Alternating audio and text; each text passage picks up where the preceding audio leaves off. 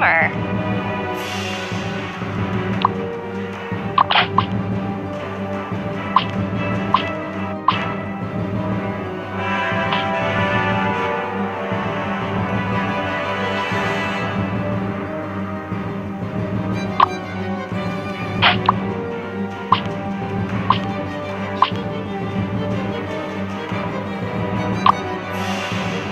I don't have time for this